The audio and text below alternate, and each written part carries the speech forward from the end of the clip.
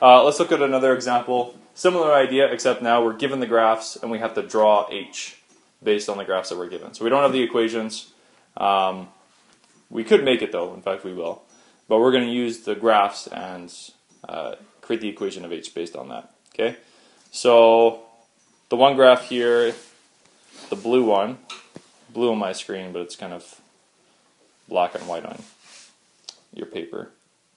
Just. Blue is F, G is red. Yeah, just take a, a guess here and say it's just going to be a straight line. and Y is a negative. you got it. Yeah, good guess.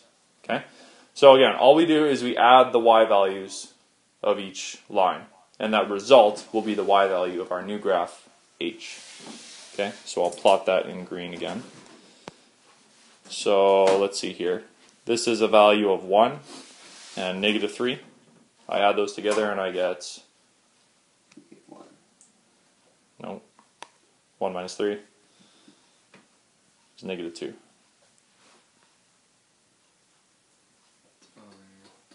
Right? Okay, and then here I've got negative 2 plus nothing. Gives me how much? Negative 2. Right? And then I've got, what is this? Negative 1 plus negative 1. Negative two. Negative 2 again. You can see a pattern developing here. Negative, oh sorry, that's 0 for our y value, plus negative 2 for our y value. Again, that's negative 2. Right, and the pattern will continue.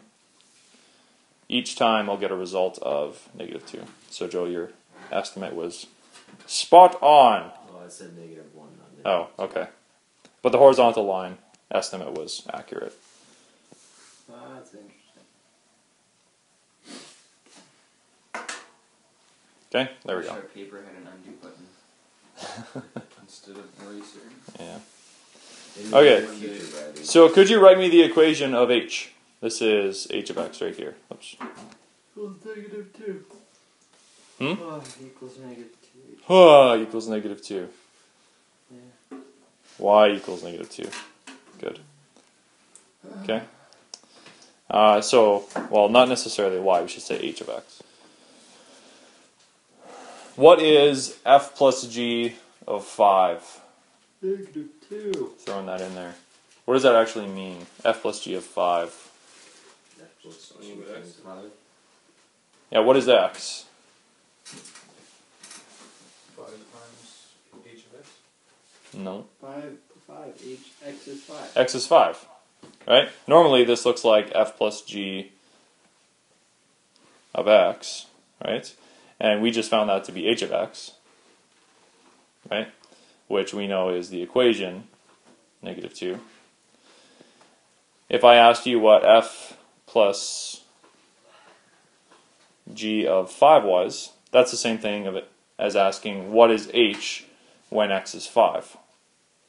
Right? Well, y is always 2, or the value of h is always negative 2, sorry. So, I mean, if you just traced out to here, you would know that the y value for x equals 5 would be still negative 2. Right? I just throw that in there because you'll see this notation in your book. But it's just basically asking what is your sum function when x is a particular value, in this case 5. Sometimes it could be 2 or 3 or negative 8, whatever.